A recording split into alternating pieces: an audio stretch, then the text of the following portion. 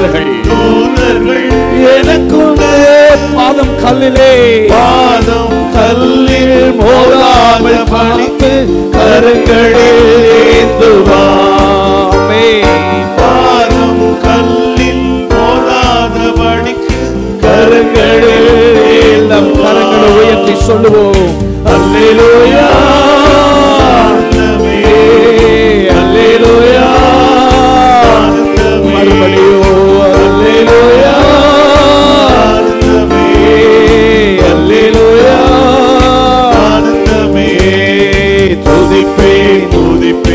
துதித்து கொண்டே இருப்பேன் துதிப்பேன் துதிப்பேன் துதித்து கொண்டே இருப்பேன் இந்த காலவெளியில் எத்தனை பேருக்கு கிடைக்காத ஒரு மேலான சுலாக்கியம் அவர் நமக்கு தந்திருக்கிறார். கண்மலையே அடைக்கலமே என்பலனே என்னை காப்பவரே என்னை மீட்பவரே அசைவர விட மாட்டேன் என் ஆத்துமாவை நோக்கி அமர்ந்திருக்கும் என்று சொல்லி. இந்த காலவேளையில உணர்ந்தவர்களை நன்றி சொல்லி துதித்து பாடுவோம். கண்மலையே அடைக்கலமே கண்மலையே அடைக்கலமே என்பலனே என்னை காப்பவரே. அசைவோடு மாட்டே. என்னை அசைவது விடமாட்டே. எல்லாரும் உணர்ந்தவர்களாய் என் ஆத்துமா உமை நோக்கி அமர்ந்திருக்கும் நான் நம்புவது உமாலே ஆகும் என்று சொல்லி இந்த கால வேளையில நன்றியோடு கூட தேவன் செய்ய போகிற நன்மைகளையும் மகத்துவங்களையும் நினைத்து நன்றியோடு கூட வரை ஸ்தோத்திரிப்போமா?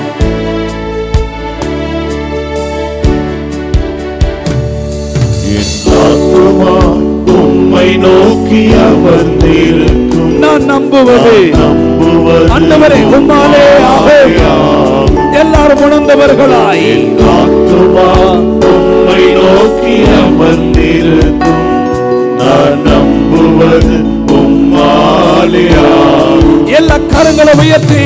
கண்மலையே அடைக்கலமே பலனே என்னை மீட்டவரே. கண்மலையே அடைக்கலமே என் பலனே என்னை காப்பவரே. அசைவுற விட மாட்டீர் என்னை அசைவுற விட என் ஆத்துமா உம்மை நோக்கி அமர்ந்திருக்கும் நான் நம்புவது உம்மாலேயாகும் கிருபையும் மகிமையும் நிறைந்தவரே. சமயத்திலே தக்க பலன் ஆசீர்வாதங்களை அளிக்கிறவரே.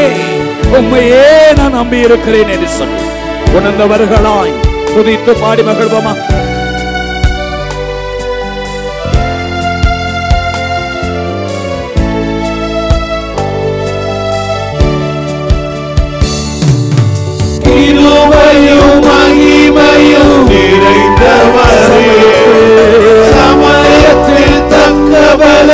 பலன் அளிப்பவரே கிருபையும் மகிமையும் நிறைந்தவரே சமயத்திலே ஏற்ற நேரத்திலே உங்களை செய்கிறவரே. அளிப்பவரே அசைவுற விட மாட்டீர் என்னை அசைவுற விட மாட்டீர் என் ஆத்துமா உம்மை நோக்கி அமர்ந்திருக்கும். நம்புவது உம்மாலேயாகும்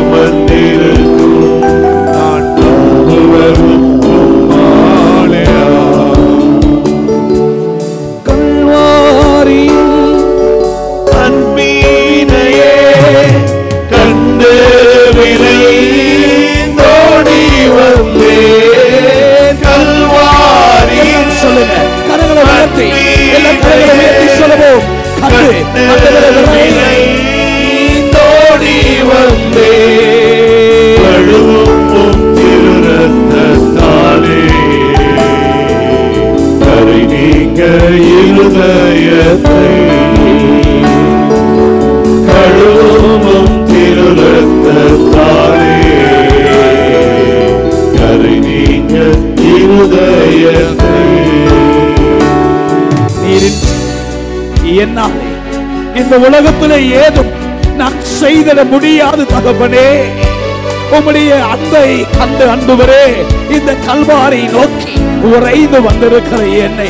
உம்முடைய கருத்தினாலே ஆசீர்வதியம் என்று சொல்லி கண்ணீரோடு கூட தேவ சமூகத்திலே நாம் அமர்ந்து நாம் செவிப்போமா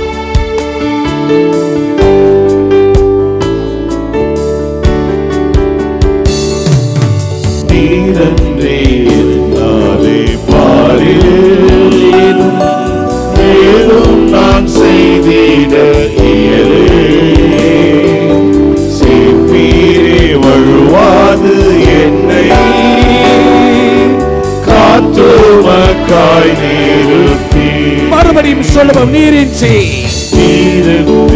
என்னாலே பாரு. ஏதோ நான் செய்திட இயலே. சேர்ப்பீரே வழுவாது என்னை. காத்துமக்காய் காத்துமக்காய் நிறுத்தி. எல்லா கரங்களை உயர்த்தி சொல்லுவோம். கல்வாரி. அன்பிலேயே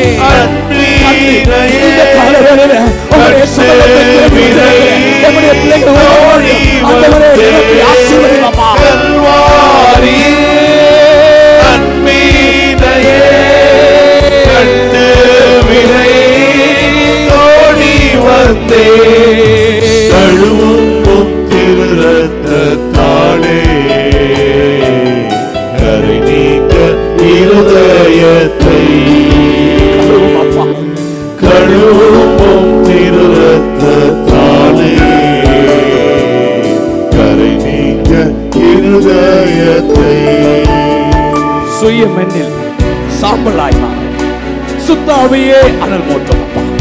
ஜெயம் பெற்று மாமிசம் சாக. தேவா இந்த காலவேளை உம்முடைய அருளை ஊற்றுவீராக என்று சொல்லி எல்லாரும் மன்றாடி செபிப்போமா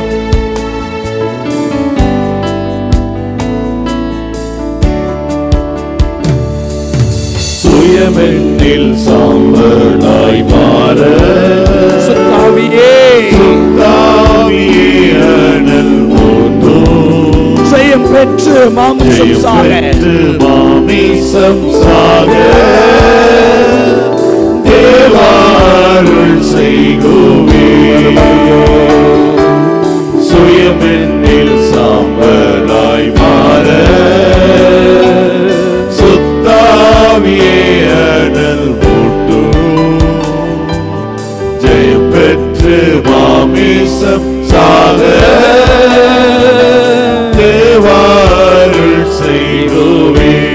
கரங்களை உயர்த்தி சொல்லுவோம். கல்வாரி நன்றினையே வீணையே கண்டு வினை தோணி வந்தே. கல்வாரி அன்பீனையே கண்டு வினை தோணி வந்தே. கழுவும் திருரத்தாலே கரை இதயத்தை கழுவும் திருரத்தாலே கரை நீக்க இருதயத்தை. எங்களை நேசிக்கிறான் அன்பின் ஆண்டவரே மீதியான வேலையை உம்முடைய கரத்தில் ஒப்பு கொடுக்குறோம் நீங்க பொறுப்படுத்திக் கொள்ளுங்கப்பா. நீங்க ஆசிர்வதிங்க. ஏசு கிறிஸ்துவின் மூலம் ஜபிக்கிற அன்பு நிறைந்த ஆண்டவரே. ஆமே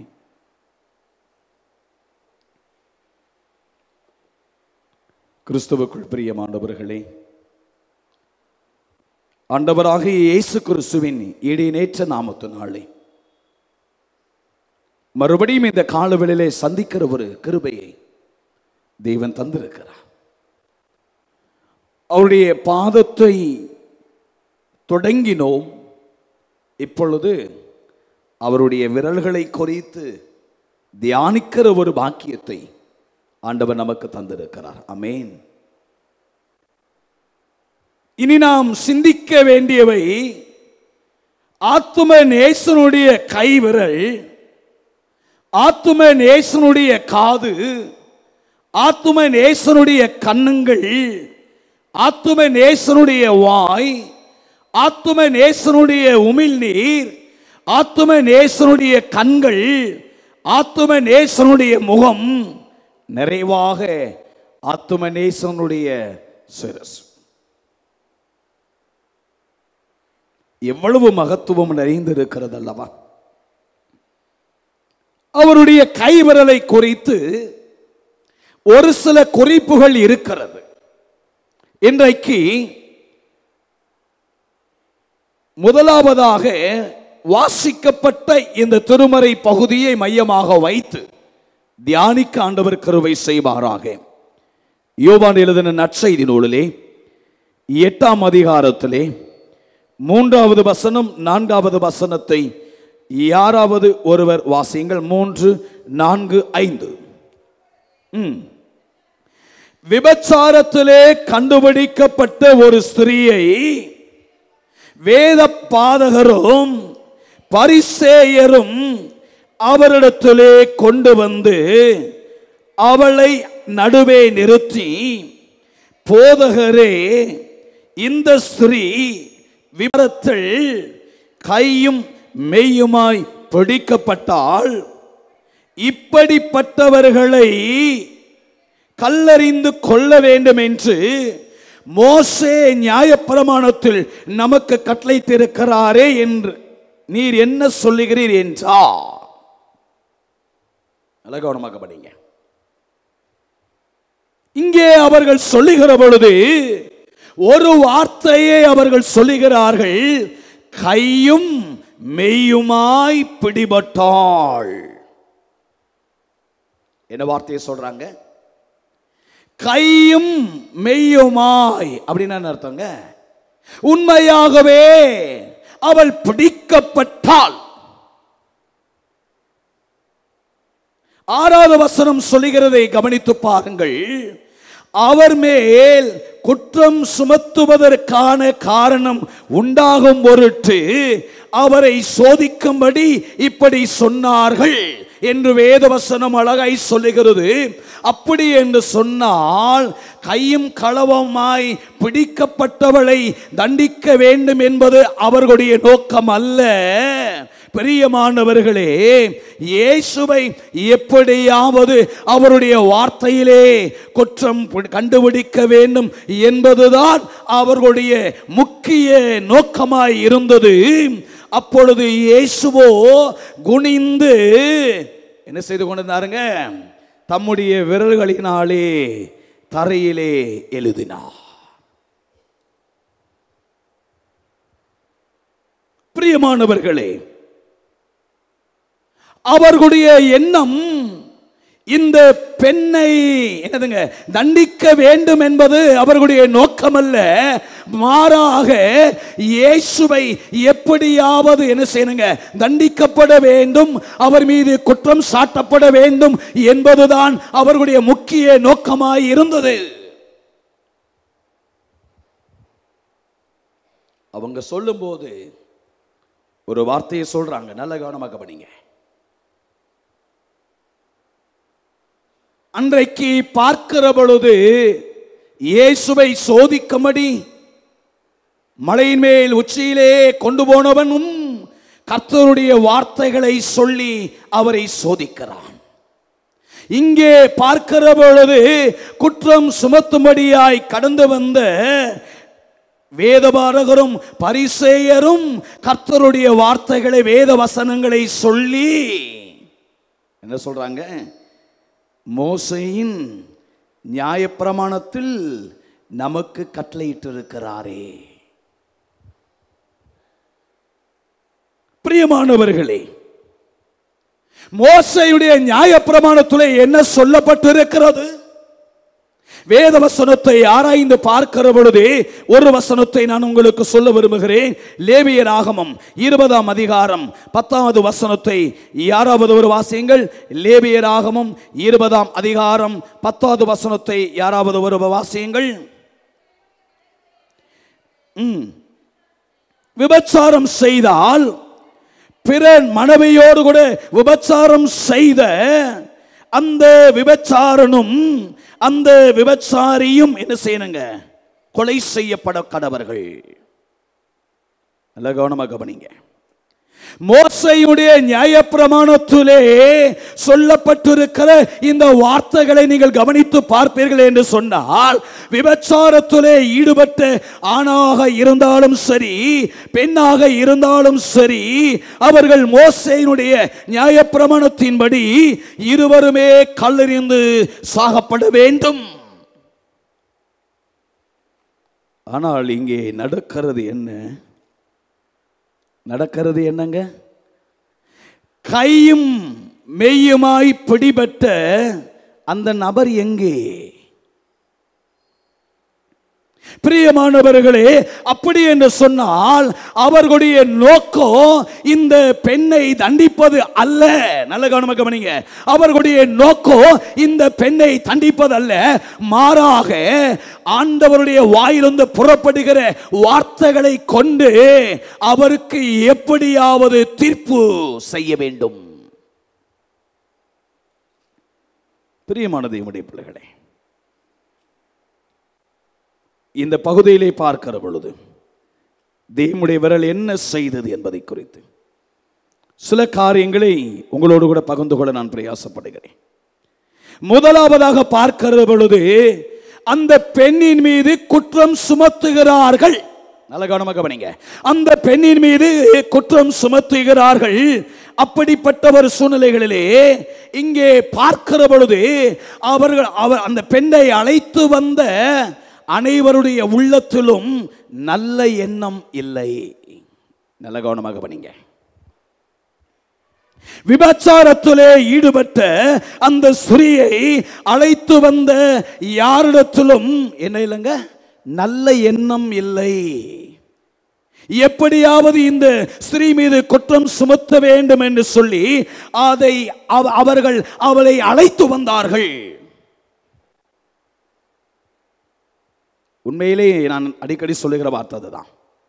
உண்மையிலே இந்த ஸ்திரீ தண்டிக்கப்பட வேண்டும் என்று அவளை அழைத்து வரவில்லை. மாறாக இயேசுவின் மீது குற்றம் சுமத்த வேண்டும் என்று எண்ணி வந்தார்கள். அவர் என்ன சொல்ல போகிறார் என்பதை வைத்து அவர் மீது குற்றம் சுமத்த வேண்டும் என்பதே அவர்களுடைய எண்ணமாக இருந்தது.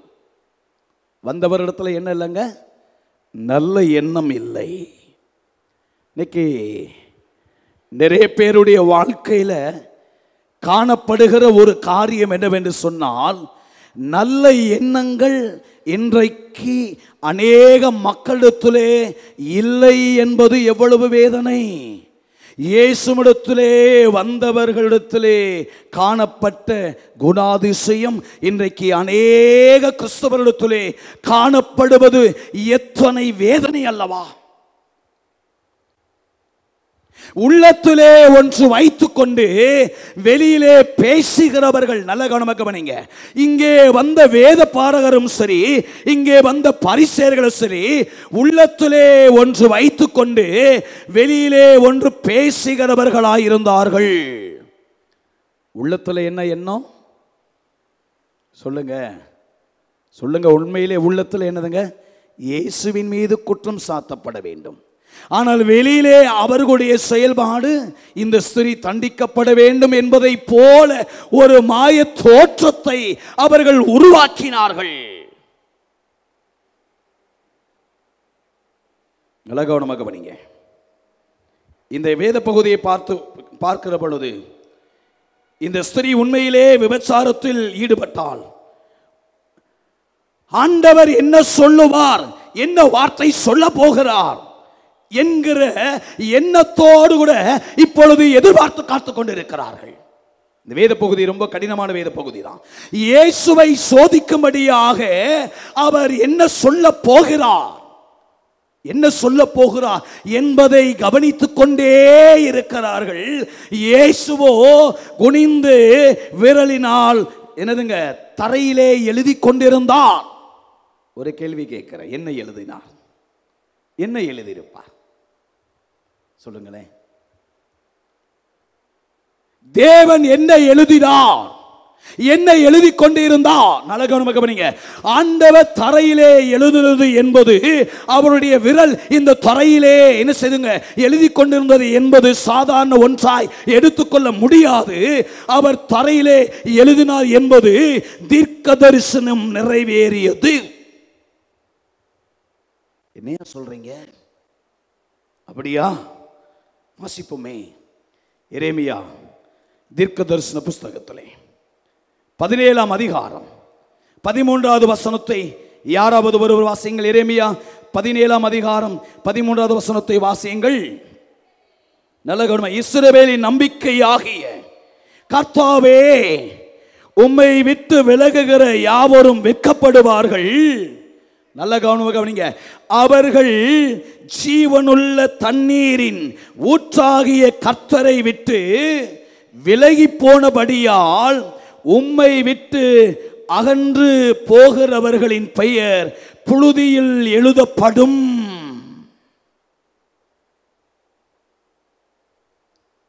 எரேமியா தீர்க்கதரிசி சொன்ன வார்த்தைகளை கவனித்து பாருங்கள். ஜீவ தண்ணீரின் ஊற்றாகிய கர்த்தரை விட்டு விலகினவர்கள் அவரை விட்டு அகன்று போனவர்களுடைய பெயர் எங்கே எழுதப்படுமாம்? புழுதியிலே எழுதப்படும். என்ன சொல்லப்படுதுங்க? எழுதப்பட்டது என்று சொல்லவில்லை. எழுதப்படும் என்று சொல்லப்பட்டது. அங்கே எரேமியா தீர்க்க தரிசனத்தினுடைய வார்த்தைகளை என் ஆண்டவர் தரையிலே எழுதின பொழுது அங்கே வார்த்தை நிறைவேறியது. அமேன் சத்தமா சொல்லுங்களேன். இத்தனை வருஷம் நீங்களும் இந்த ஆலயத்தில் வந்திருக்கிறீங்களே. என்னைக்காவது இந்த சத்திய வார்த்தைகளை அறிந்திருக்கிறீர்களா? பிரியமானவர்களை இன்னும் பொதுமொழி வேற்பலை அழகாய் சொல்லுகிறது உம்மை விட்டு அகன்றோர் தரையிலே எழுதப்பட்டோர் ஆவார் என்ன சொல்லப்படுறதுங்க உம்மை விட்டு அகன்றவர்கள் உடைய பெயர்கள் தரையிலே எழுதப்படும்.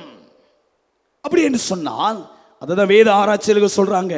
ஆண்டவர் தரையிலே எதை எழுதி கொண்டிருந்தார் என்ற குறிப்பு வருகிற பொழுது அவர்கள் சொல்லுகிறார்கள் ஏசியா தீர்க்கதர்சனுடைய வார்த்தைகளை உணர்ந்தவராய் ஜீவ தண்ணீர் நீ ஊற்றாகிய கர்த்தரை விட்டு யாரெல்லாம் எழு விலகி போனார்களோ யாரெல்லாம் அவரை விட்டு அகன்று போனார்களோ அவர்களுடைய பெயர்களை அவர் எழுதினார். நல்லா கவனமாக கவனிங்க. இங்கே ஒரு வார்த்தை வருது இல்லையா? வாழ்வழிக்கும் நீரூற்றாகிய அவரை புறக்கணித்தார்கள். நல்ல கவனமாக கவனிங்க. இந்த வார்த்தைகளை கவனித்து பார்ப்பல என்று சொன்னால் வாழ்வழிக்கும் ஜீவ ஊற்றாகிய இயேசுவை புறக்கணித்தவர்கள் யார் என்று சொன்னால் இந்த பெண்ணை அழைத்து வந்த பரிசேயரும் சரி சதிசேயரும் சரி. அன்புக்குரிய தேவனுடைய பிள்ளைகளே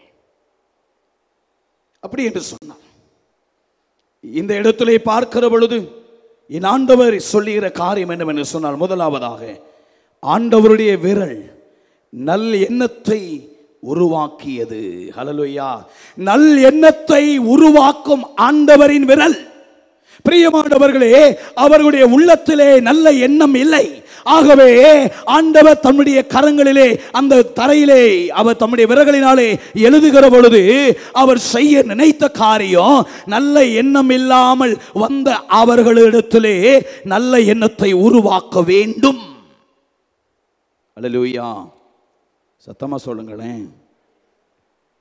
அதாங்க தாவிது ஜெபிக்கிறாரு. சுத்தமான ஆவியை என்னில் சிருஷ்டியும் நிலைவரமான ஆவியை என்னுடைய உள்ளத்தில் என்ன செய்யுங்க? புதுப்பியும் புதுப்பியும். அன்புக்குரிய தேவனுடைய பிள்ளைகளே தேவனுடைய விரல் என்ன செய்தது என்று சொன்னால் நல்ல எண்ணங்கள் இல்லாமல் இருந்தவர்களிடத்திலே நல்ல எண்ணத்தை உருவாக்கும்படியாக என் தேவனுடைய விரல் தரையிலே என்ன செய்தங்க கால்பதித்தது அப்படின்னா முதலாவதாக நல்ல எண்ணத்தை உருவாக்க விரும்பிய ஆண்டவரின் விரல். இரண்டாவதாக பார்க்கிற பொழுது பிரியமானவர்களை ஏழாவது வசனத்தை எட்டாவது வசனத்தை வாசியுங்கள். யோவான் ஏழாம் அதிகாரம் எட்டாவது வசனம்.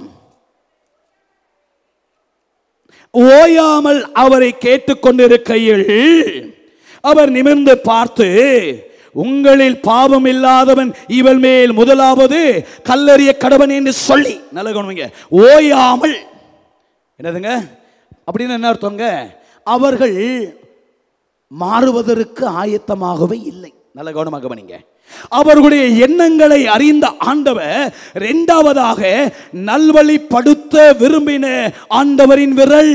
நல்ல கவனமாக நல்ல எண்ணம் இல்லாத இவர்களுடைய வாழ்க்கையிலே இவர்களை நல்வழிப்படுத்த தேவன் மறுபடியும் தரையிலே குனிந்து எழுதினார். ஹalleluya ஒவ்வொருவரையும் தேவனாகிய ஆண்டவர் நல்ல எண்ணத்தை உருவாக்க வேண்டும் என்பது அவருடைய விருப்பம். அதே வேளையிலே அவர்களை நல்வழிப்படுத்த வேண்டும் என்பதும் அவருடைய நோக்கமாய் இருந்தபடியினாலே தரையிலே அவர் எழுதினார். நல்ல கவனம் கவனிங்க. அவர் என்ன சொல்ல போகிறார்? இப்போ நீங்கள்லாம் நான் என்ன சொல்ல போகிறேன் அப்படின்னு எதிர்பார்ப்போடு கூட இருக்கிறீங்க. சாதாரண மனிதனாக என்னிடத்திலேயே. ஆனால் அங்கே பார்க்கிற பொழுது என் ஆண்டவர் என்ன சொல்ல போகிறார்? நல்ல கவனிங்க. அங்கே அவர்கள் ஆண்டவருக்கே ஒரு காரியத்தை சொல்றாங்க. என்னதுங்க? எல்லாம் தெரிந்த ஆண்டவருக்கே அப்படி எடுத்து கொடுக்குறாங்க. என்ன எடுத்து கொடுக்குறாங்க? இப்போ நாங்கள் சொல்ல வந்தது என்னன்னா என்னதுங்க? நாங்க சொல்ல வந்தது என்ன அப்படின்னா நாங்கள் மோசையினுடைய நியாயப்பிரமாணத்தில் விபச்சாரத்தில் ஈடுபட்டால் கல்லறிய வேண்டும் என்று சொல்லி அந்த புஸ்தகத்தில் எழுதியிருக்கிறது என்பதை என்னதுங்க? எழுதி கொடுத்தவருக்கே சொல்லி கொடுக்கிறார்கள். நல்ல கவனமாக கவனிங்க. மோசையுடைய நியாயப்பிரமாணத்தின்படி அந்த பெண் கல்லறியப்பட வேண்டும் என்று அவர்கள் சொன்னவுடனே அவர் என்ன சொல்ல போகிறார்? நல்ல கவனமாக கவனிங்க. என்ன சொல்ல போகிறா? அவருடைய எதிர்பார்ப்பு. ஒருவேளை ஆண்டவர் மோசையுடைய நியாயப்பிரமாணத்தின்படி அந்த ஸ்திரீ கல்லறியப்பட வேண்டும் என்று அவர் கட்டளையிட்டிருந்தார் சொல்லுங்களேன். ஒருவேளை மோசையுடைய நியாயப்பிரமணின்படி நிச்சயமாய் அந்த பெண் கல்லறியப்பட வேண்டும் என்று சொல்லி இயேசு ஆண்டவர் ஒருவேளை அன்றைக்கு அவர் அந்த வார்த்தையை சொல்லியிருந்தால் அவர்கள் என்ன சொல்லியிருப்பார்கள்? என்னங்க சொல்லியிருப்பாங்க? எட்டாம் வசனத்தில் ரெண்டாவது வசனத்தில் பார்த்தீங்கன்னா மறுநாளிலே அவர்கள் திரும்பி தேவாலயத்திற்கு வந்த பொழுது ஜனங்கள் எல்லாரும் அவரிடத்திலே வந்தார்கள். அவர்கள் உட்கார்ந்து அவருடைய உபதேசத்தை கேட்டவர்கள் எல்லாரும் என்ன சொல்லியிருப்பாங்க தெரியுமா? இவர் இரக்கமற்றவர். என்ன சொல்லியிருப்பாங்க? நீங்கள் எல்லாரும் இவருக்கு பின்னாடி கடந்து போகிறீர்களே. நல்ல கவனமாக கவனிங்க. இவர் நிச்சயமாகவே மோசையுடைய நியாயப்பிரமாணத்தின்படி கல்லறியப்பட வேண்டும் என்று அவர் சொல்லியிருந்தால் நிச்சயமாய் அவர்கள் சொல்லியிருக்கிற வார்த்தை இவர் இரக்கமற்றவர். இவரை பின்பற்றாதீர்கள். அதுதாங்க அங்கே. ஒருவேளை நல்ல கவனமா இருக்கீங்க. கல்லறியப்படக்கூடாது. கல்லெறியக்கூடாது என்று ரெண்டாவது அவர்கள் சொல்லியிருந்தால் என்ன சொல்லியிருப்பாங்க? இவர் நியாயப்பிரமாணத்தை மீறுகிறார். என்ன சொல்லியிருப்பாங்க? ரெண்டாவது ஒருவேளை இல்ல இல்ல அவள் கல்லறியப்படக்கூடாது என்று சொல்லி ஒருவேளை அவர் சொல்லியிருந்தார் இவர் நியாயப்பிரமாணத்தை மோசையுடைய புஸ்தகத்தை என்ன செய்கிறார் நியாயப்பிரமாணத்தை மீறுகிறா. இப்படி சொன்னா அப்படி. அப்படி சொன்னா இப்படி. நல்லா கவனமாக கவனிங்க. எப்படியாவது அவரை சிக்க வைக்க வேண்டும். அவர் தப்பித்து விடக்கூடாது நல்ல கவனிக்கங்க. அந்த பெண் தப்பித்து தப்பித்தாலும் பரவாயில்லை. ஆனால் என்ன செய்யுங்க? இவர் தப்பித்து விடக்கூடாது என்பதுதான் அவர்களுடைய நோக்கம். நல்ல கவனமாக கவனிங்க. ஒருவேளை கல்லறிய வேண்டும் என்று சொல்லியிருந்தால் இன்னொரு காரியம் என்று சொன்னால் பிரியமான தேவனுடைய பிள்ளைகளே யூதர்கள் யாரை யாரையாகிலும் மரண தண்டனைக்கு ஆளாக்குவது அவர்களுக்குரியது அல்ல. நல்ல கவனமாக கவனிங்க. அதாவது மரண தண்டனையை விதிப்பது அழிப்பது யூதர்களுக்கு என்னதுங்க? யூதர்களுக்குரியது அல்ல. அது ரோம சட்டத்திற்கு என்னதுங்க? எதிரானது.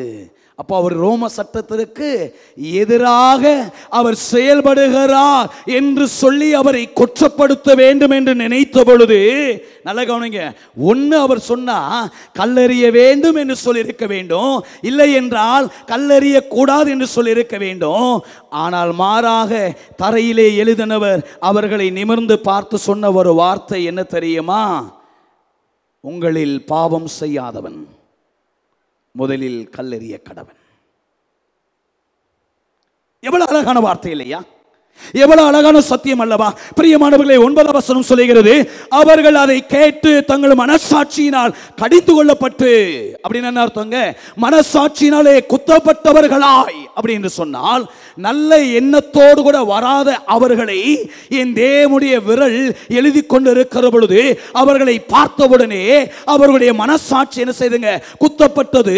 அப்படி என்று சொன்னால் ரெண்டாவது நான் ஏற்கனவே சொன்ன வண்ணமாக நல்வழிப்படுத்த விரும்பிய ஆண்டவரின் விரல். ஹலலுயா ஆண்டவருடைய விரல் என்னதுங்க? கீழே அப்படியே தரையில் உட்கார்ந்து எழுதி கொண்டே இருந்ததெல்லாம் என்ன எழுதி கொண்டே இருந்தார் சிந்தித்து கொண்டே இருந்தார் என்று சொன்னால் நல்ல எண்ணத்தோடு கூட அவர்கள் வரவில்லை. அவர்களை அப்படியே அனுப்பிவிட மனதில்லாதபடிக்கு அவர்களை நல்வள நல் நல்வழிப்படுத்த ஆண்டவர் விரும்பினபடியினாலே தரையிலே என்ன செய்தாருங்க? அவர் எழுதினார்.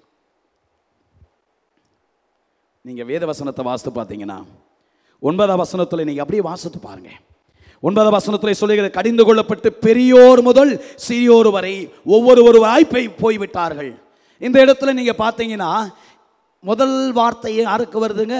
பெரியோர்கள் போனார்கள் அப்படின்னு என்ன அர்த்தங்க? பெரியோர் தான் ஆண்டவர் சொல்கிறது என்னது அப்படின்றத அண்டர்ஸ்டாண்ட் பண்ணக்கூடியவங்க.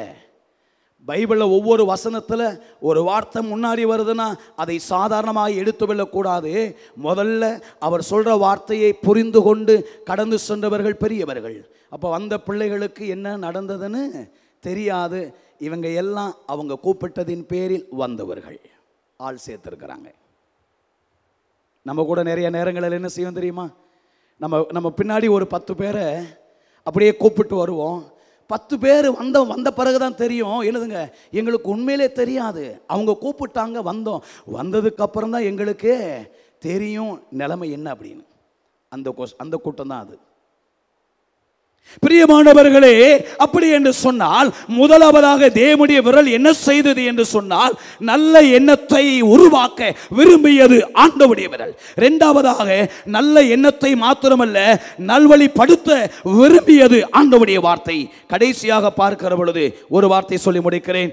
பத்தாம் வசனத்திலேயும் பதினோ வசனத்திலே இயேசு என்ன சொன்ன எழுது எழுதி கொண்டிருந்தவர் நிமிர்ந்து அந்த சிறியை தவிர வேறு ஒருவரையும் காணாமல் சிறியே உண்மையில் குற்றம் சாட்டினவர்கள் எங்கே? ஒருவனாகிலும் உன்னை ஆக்கினைக்குள்ளாக தீர்க்கவில்லையா? அதற்கு அவள் இல்லை. ஆண்டவரே என்றாள் ஏசு அவளை நோக்கி நானும் உன்னை ஆக்கினைக்குள்ளாக தீர்க்கிறதில்லை. நீ போ. இனி பாவம் செய்யாதே. இனி பாவம் செய்யாதே.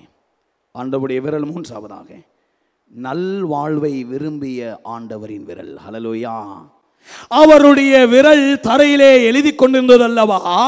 இப்பொழுது அவளை பார்த்தவுடனே இனி பாவம் செய்யாதே என்று சொன்னது எது என்று சொன்னால் அவருடைய நல் அவள் இனி பாவம் செய்யாதபடிக்கு நல்ல வாழ்க்கை வாழ வேண்டும் என்பதை தேவன் விரும்பினார். பெரிய சப்ஜெக்ட் ஆனால் சுருக்கமாக உங்களுக்கு சொல்லியிருக்கிறேன். அப்படின்னு சொன்னால் மூன்றாவது என்னங்க? நல்வாழ்வை விரும்பும் ஆண்டவரின் விரல்.